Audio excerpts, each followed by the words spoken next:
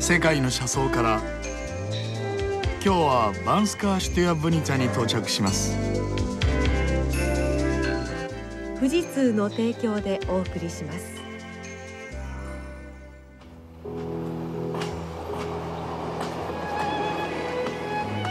フロンスカー・ドゥ・ブラバを出発した列車は世界遺産の町バンスカー・シュテヤブニツァを目指して走り続けています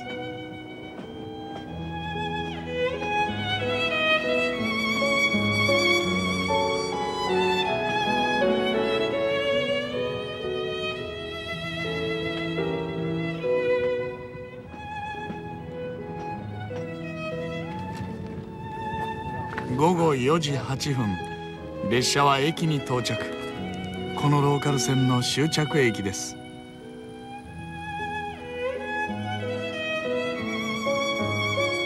小高い山々に囲まれたバンスカー・シティアブニツァ。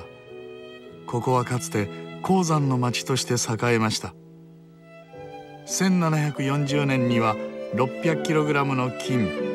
2万 3000kg の銀が1年に産出されたといいます。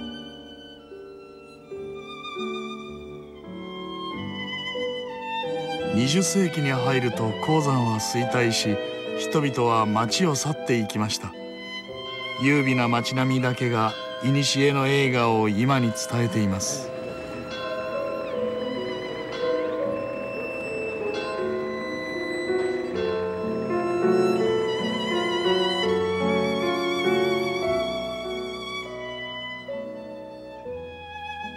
バンスカーシュティアブニツァは心地よい静寂に包まれた坂の町です。